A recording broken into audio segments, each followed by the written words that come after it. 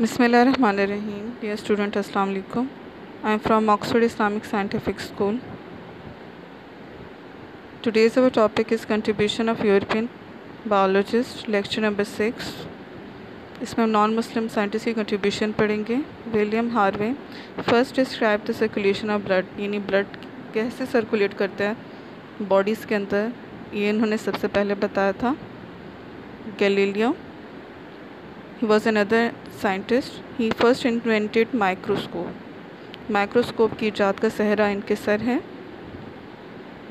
Next Robert Hooke he discovered cell हम जानते हैं cell is the structure and functional unit है। हर जानदार का बेसिक यूनिट है। सेल होता है। रॉबर्ट हुक ने सबसे पहले सेल की डिस्कवरी की थी। Linnaeus he develop method of classification for organism and give nomenclature. He is known as father of taxonomy.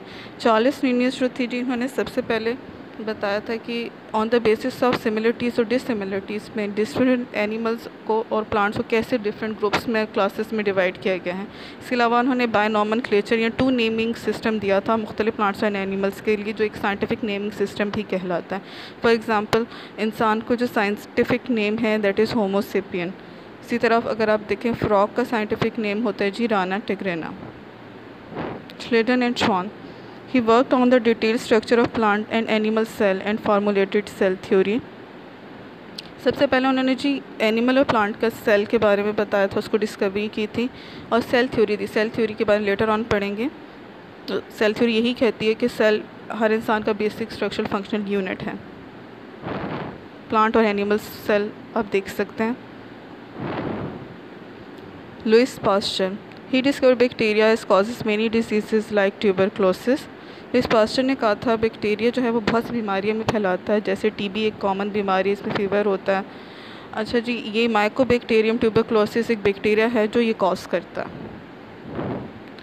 J Lister he discovered antiseptic antiseptic क्या होती है? जो ज़ख़म वगैरह पे हम लगाते हैं। आ, वो मेडिसिन लाइक आयोडीन टिंक्चर आयोडीनिक है कार्बोलिक एसिड कार्बोलिक एसिड जी, ये बेंजीन से एक्सट्रैक्ट किया जाता है पॉइसनस होता है मेडिकल में यूज़ होता है। आयोडीन जानते हैं कि यूजली ज़्यादातर एंटीसेप्टिक दवाई के तौर पर इस्तेमाल होती है। चार्लिस डार्विन उन्हें बुक्स राइट की थी जी origin of species about evolution यानी एवोल्यूशन ज़िंदगी की इब्तदा और इतका के बारे में, इस किताब में बहुत डिटेल से ज़िक्र है।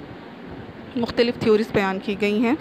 इसमें जॉर्ज जॉन मेंडल ही वो gave the his famous law of heredity and laid foundation of genetics उनको फादर जेनेटिक्स भी कहते हैं, क्योंकि उन्होंने विरासत के बारे में मुख्तलिफ़ किस्म की थ्योरीज दी थी। यानी एक कैरेक्टरिस्टिक्स या खसूसियात पेरेंट्स से ऑफस्प्रिंग इन बच्चों में कैसे ट्रांसफ़र होती हैं, उनका ज़िक्र किया गया है इसमें।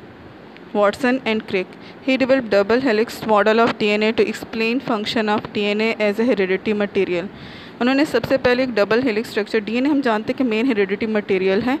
यानी जितनी भी इंफॉर्मेशन होती है, वो एक नस्ल से दूसरी नस्ल में इसी के ज़रिए ट्रांसफ़र होती हैं। इसका एक डबल हेलिक्स स्ट्रक्चर होता है, जैसे नज़र आ रहा है आप लोगों को। ये थी जी तमाम कंट्रीब्यूशन आपके होम टास्क है जी। Learn all contribution thanks